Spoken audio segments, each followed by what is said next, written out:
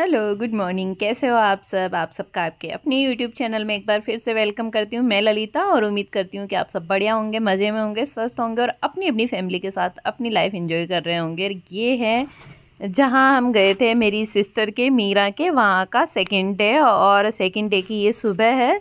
तो सुबह सुबह चाय बन रही थी और जैसे जैसे उठते जा रहे थे, सब उठ के चूल्हे के पास आ रहे थे। क्योंकि काफ़ी ठंडी और ठंडी के मौसम में आग जलाते हैं ऐसे चूल्हे में ही तो चारों ओर सब बैठ जाते हैं, वहीं बैठ के चाय पानी पीते हैं और ये है मीरा जी जो कि उठ चुकी है और इस चाय को तीन लोगों ने बनाई है सेजल विशाल और अब मीरा जी बैठी हुई है। अच्छा आपके प्रोग्राम था जो खत्म हो गया? हाँ, फिर आज क्या पार्टी हो गए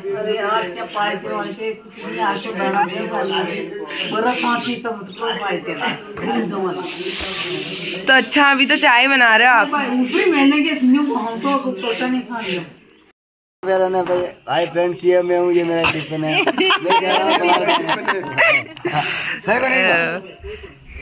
जब जाओ खाबा लाग जख्मी।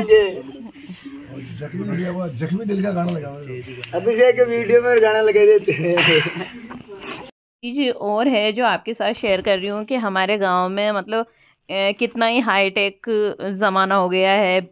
इक्कीसवीं सदी चल रही है। बिल्कुल हर चीज़ ऑनलाइन होती है।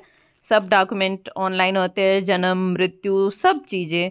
लेकिन इस ज़माने में भी, अभी जैसे हम, इनके घर में बच्चा हुआ ना तो उसका भी रिकॉर्ड दर्ज करने के लिए जो जागा समुदाय होते हैं, उनमें से लोग आते हैं और बड़े ऐसे इनका, ये देखिए, इतना मोटा रजिस्टर है। इसमें सबके नाम लिखे हुए हैं, इनके सारे पूर्वजों के। तो नया बच्चा हुआ है या फिर कुछ भी नया काम, अगर किसी के यहाँ पे मौत हुई है तो उसका हमारे यहाँ पे बारहवें के बाद नुंगता करते हैं। गंगोज, उसको भी लिखवाते हैं, बच्चा हुआ तो उसको भी लिखवाते हैं, शादी हुई तो उसको भी लिखवाते हैं। तो सारी चीज़ें यहाँ रिकॉर्ड में ये लिख रहा है कि इनके घर में पोता हुआ है या फिर इनके ससुर जी का नुकता हुआ था या फिर बेटे की शादी हुई थी।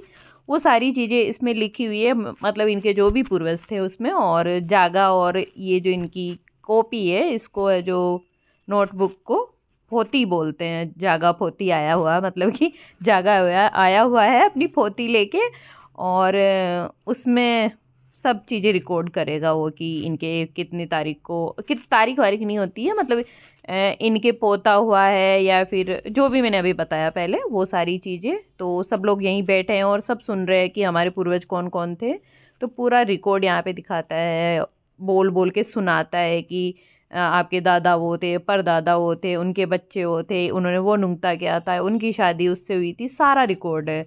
तो वही सब चीज़ें लिख रहे थे और यहाँ पे बैठे बैठे ये लोग सुन रहे थे और ये जो विशाल है वो डोगी के साथ खेल रहा है और इस रिकॉर्ड को संभाल के रखने के लिए भी ये मतलब इनकी जो बनती है पैसे मतलब जो इनसे लिए थे इन्होंने पाँच हज़ार और गेहूँ लिए थे, पता नहीं नाज लेते हैं, चालीस पचास किलो। वो था और ऐसे फिक्स नहीं है कि किससे कितना लेंगे, लेकिन जितना आप देना चाहो, वो मांगते हैं। तो अधिकतर लोग उनको खुश करके ही भेजते हैं, ऐसे नाराज़ नहीं करते कि नहीं देंगे, ऐसा कुछ नहीं है।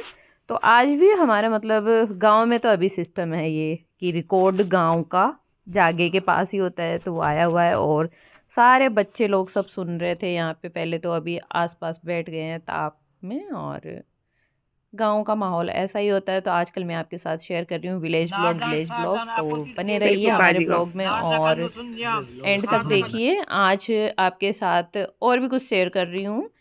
मैंने बफेलो मिल्किंग की है बहुत सालों बाद। ऐसा नहीं कि मैंने बिल्कुल नहीं की लेकिन पंद्रह सोलह साल हो गए हैं मुझे भैंस का दूध निकाले हुए तो वो आपके साथ शेयर कर रही हूँ तो आगे ब्लॉग में बने रहिए और अभी हम लोग थे अंदर। चाय पी रहे थे, बाहर का ब्लॉग जो है, सेजू सूट करके लाई थी और सारे मतलब अधिकतर मेहमान जा चुके थे। हम लोग ही बचे थे, जो फैमिली में बहुत खास खास लोग थे, वही है अभी और मैं दो तीन दिन मतलब मैं पाँच दिन रुकी थी वहाँ पे, फिर उसके बाद आ गई थी और अभी भी वही चल रहा है, वो पूरी लिस्ट बता रहा है कि किसके कौन थे, किसके कौन थे और देखिए आगे ब्लॉग डर रहा है कानू।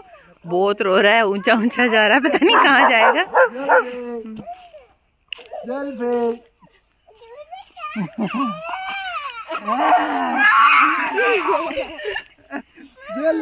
बुखार आ चली रे। अरे खा खा। लात की दले डर लाग्यो? बना पाते कैसे क्यों नटे छोरा चिरन? तो हम आए भैंस की दुआरी करने आज भी। कहीं न दुआरी? दो तो, तो आज आपके साथ शेयर करने वाले हैं हम बफेलो मिल्किंग हमारी सूखी सूखी बफेलो जो कच्चे बेर है जिनको ही खा रहे हैं लोग।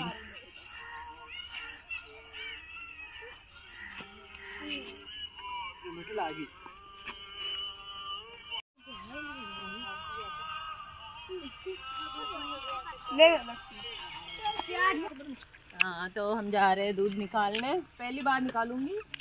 पंद्रह साल हो गए वैसे मेरे को दूध निकाले तो क्या पता आइडिया नहीं सही आता है। ये बड़बड़ तो ही है तो। थोड़ा राग दीजिए दीजिए रुक रुक रुक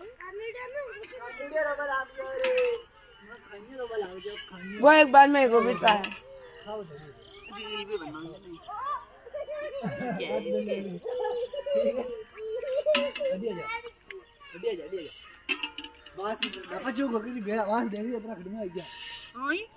एक बार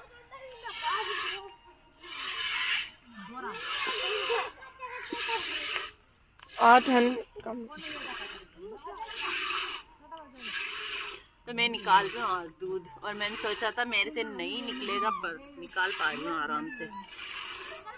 देख कैमरे से ये इधर इस पे फो-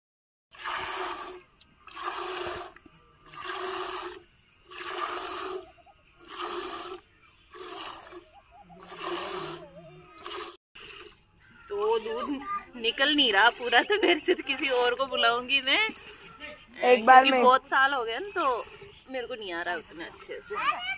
तो रेखा को बुला रही हूँ मैं। चल तू बाँस ना खुद का दे वाली से पर।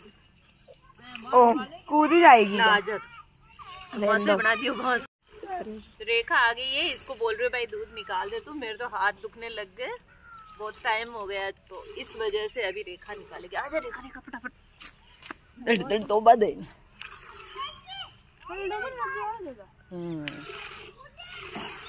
बाद है हम्म